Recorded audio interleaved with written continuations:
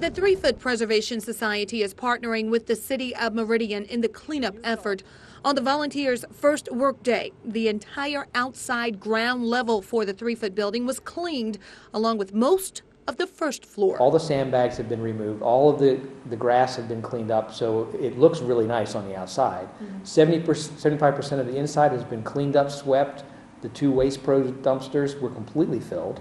Once work on the first floor is finished, Goldacker says volunteers will start on the second floor. The second floor is actually in pretty good shape. It was all office spaces. There has been recently some developers looking, and they're just looking. We have no one ready to put in a lot of money to update the Threefoot building.